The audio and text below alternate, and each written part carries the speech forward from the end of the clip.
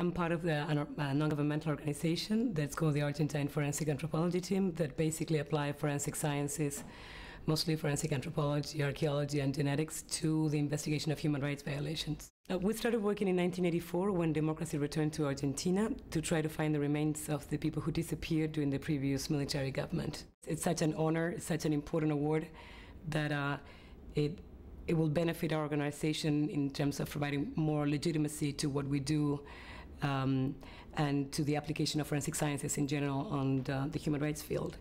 I also think that uh, it is. Um, in a way, it also uh, supports the struggle of the families of victims of the disappeared that are requesting forensic services and independent investigations to know what happened with their loved ones and to find justice and to find their remains. So I think it, by giving this award, I think it, it goes both to forensic people doing this work and families of, of disappeared people that are uh, looking for their loved ones.